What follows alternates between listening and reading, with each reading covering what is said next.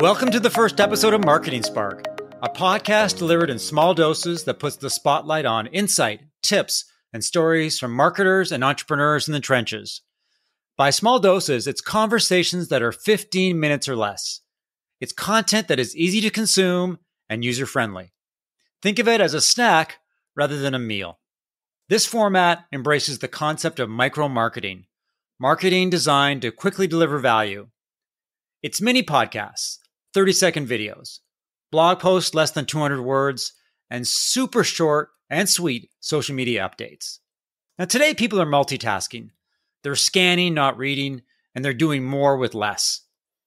They want to consume content, but there's simply not enough time in the day.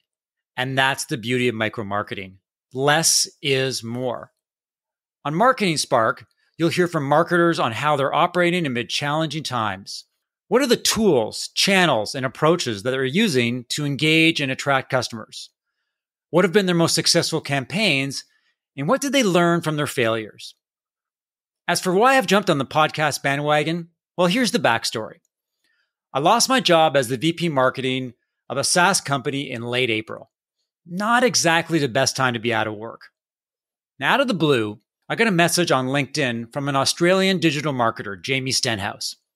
We had a good chat about a unique and low cost model that he uses to do sales outreach for his digital marketing agency. And as we were wrapping up the call, Jamie gave me some great advice. If you're looking for business, simply reach out to all your first connections on LinkedIn. These are people, he said, that I knew, so it made sense to see if there's any value in my connections. So that's what I did. I wanted to connect with people, learn and do research, on how I could relaunch my marketing consultancy in the midst of a global pandemic. Now, I've talked to dozens of people entrepreneurs, marketers, consultants, and investors. And to be honest, it felt like going to marketing school. I could ask questions about anything.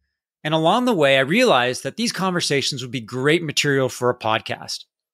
But I've never created a podcast. As a writer and journalist, blogging has always been my thing. So, to test the waters, I posted my podcast plans on LinkedIn and asked if people would be interested in participating. And the response was overwhelming. So, I guess I'm now part of the podcast community. I hope that you'll join me on this journey by subscribing to Marketing Spark via your favorite podcast platform. If you have ideas for topics or suggestions for guests, send an email to mark at markevans.ca.